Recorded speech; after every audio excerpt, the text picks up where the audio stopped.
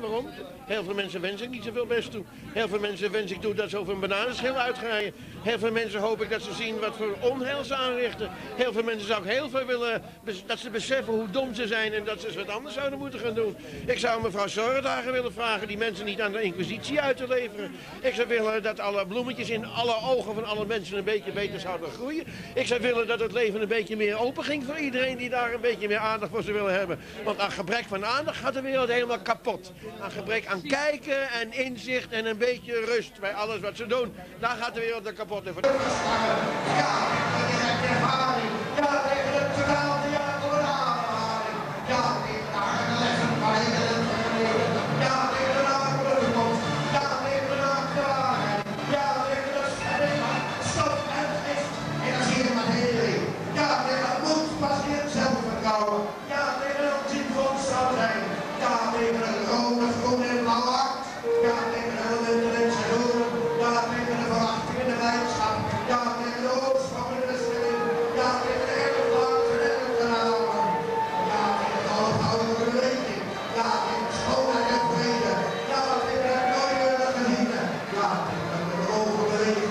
cabrón.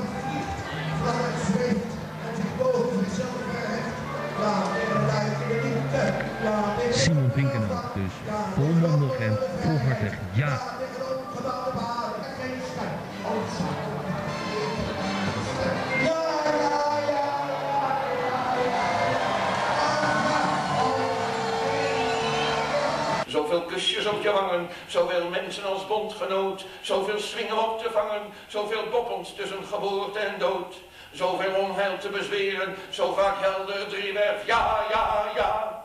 Zo vaak, zoveel dynamos uit de dood herrijzen, zoveel strijkers, blazers, slagers, open en bloot een gevoel in de schoot.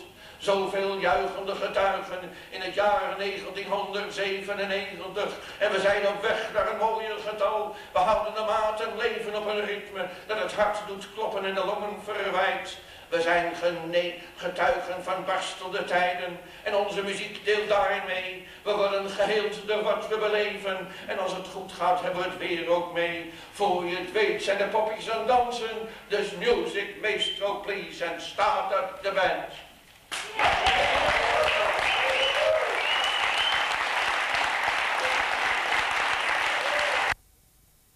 Simon Vinkenoog. Hij is 70 jaar. En we hadden bedacht dat het een leuke verrassing voor hem zijn, zou zijn als er eens een interview zou komen met Hans Plomp. Een oude vriend, iemand uit Ruigoort, iemand die Simon al lang kent en met wie ze samen veel reizen hebben gemaakt. Hans Plomp is ook dichter en schrijver en praat met Simon Vinkenoog over wat ze samen beleefd hebben. Maar niet volgens een vast stramien, gewoon gezellig in de tuin met de zon, een drankje en een jointje. Want dat is Simon Vinkenoog. Hij geniet van het leven. En toeval laten toeslaan. Eh, Hans Aap had het over die gezet de- des toevals. Als je die maar...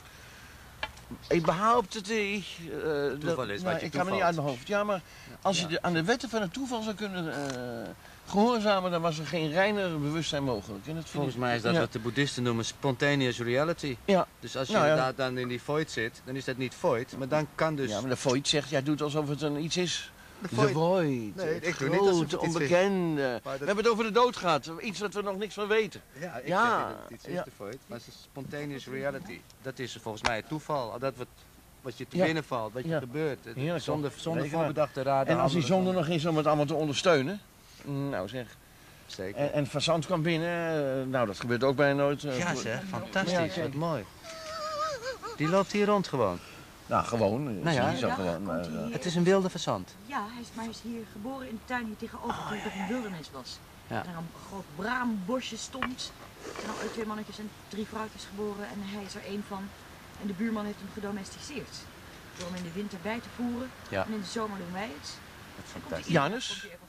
Janus. En, eh, En van de week was het die- regenen. We keken hier buiten. Hij sprong even op tafel om zijn aanwezigheid kenbaar te maken. Ze is zo dichtbij. Ja joh. En het is een mooi beest. Ja, ze zijn eh. prachtig, ze zijn En prachtig. meisjes op de zak? Oh, ik zie hem. Oh, is hij er weer? wel. Ja. onder de boom. Oh, dan komt hij misschien wel terug ook. Ja. Zit hij onder de boom nog leuk? Goed Nee, zo. loop nu weg. Ik er genoeg van. Nou, ik zat in een programma van Ria van der Elsen. Remy. Remy van der Elsen. Heel leuk programma, heel goede vragen. Maar ik kreeg een week van tevoren een, een videocamera en, en mocht ik zelf een home movie maken. Nou, ik, Goed wat idee. zal ik doen? Langs mijn boekenkast, langs de kuntjes. Edith vertelde me de waarheid. Ik zeg, nu nog even. Hebben ze nog gebruikt, dat was om te oefenen. Goed idee. En dat, werd- dat mocht eh, erin? Had Ja, dat, maar- je eigen programma kunnen maken dus. Ja, drie minuten. Drie minuten mocht je... Maar toen kwam ik op de tuin. Ik dacht, ik zal het hier maar doen. En toen kwam ik de verzand en hij liep daar heerlijk eh, door dat... eh, ik Ja. hem, want het was eh, eh, leuk om een eh verzand als hoofdpersoon van een...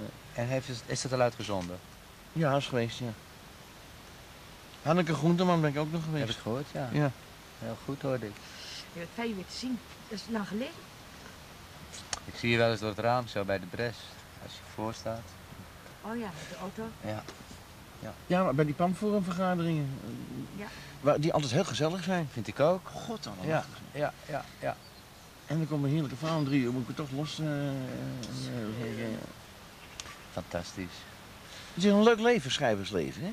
Jongen, ik heb het ontzettend naar mijn zin. Ik heb al lang mijn, mijn ambities om literatuur te bedrijven. Ik levenskunst. Daar, is, maar daar is het om begonnen. Ja. Ik weet dat ik schrijver werd uiteindelijk. Omdat ik dacht, ja, ik wil die baan niet en dat wil ik niet en dat wil ik niet. Ik heb geprobeerd schilder te worden. Zat er niet in. Dus ik ben opgehouden als leraar om schrijver te worden. En om te kunnen doen wat ik wil, niet een miljonair te worden. Hoe lang ben je leraar geweest? Een jaar of vijf, zes. Goeie leraar? Leraar Nederlands? Ik leerde Nederlands. Hoe oud waren die kinderen? Eh, het was op een avondschool, dus het waren oudere kinderen. Het waren ook Komen ze nog wel eens tegen? Komen ze wel eens Ik kom ze tegen? wel eens tegen. Ik heb nog gevreden met een paar, dus heb ik ook wel eens een beetje zo. eh. Maar ja, ze waren boven de 18 hoor. Boven de 18.